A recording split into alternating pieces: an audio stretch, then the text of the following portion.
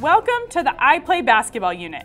During this series of videos, Coach Sophia Young Malcolm will teach you the fundamentals of basketball.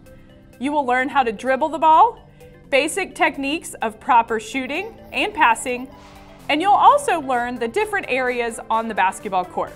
Coach Sophia was a multi-sport athlete growing up. She played volleyball, track, netball, and soccer. She began playing basketball at the age of 15 and was offered a full scholarship to Baylor University after only three years of development. Coach Sophia was an All-American at Baylor University and helped them win their first national championship in 2005. She is one of only four women in NCAA history to score 2,000 points, grab 1,000 rebounds, collect 300 steals, and have 300 assists. Coach Sophia was selected as the fourth overall pick in the 2006 WNBA draft by the San Antonio Silver Stars. During her nine-year WNBA career, all with the Stars, she was named the Western Conference WNBA All-Star Team three times.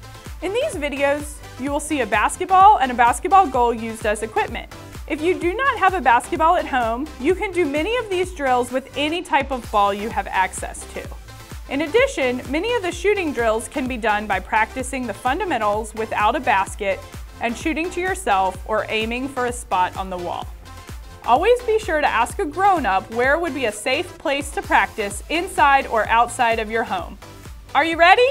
Let's get started.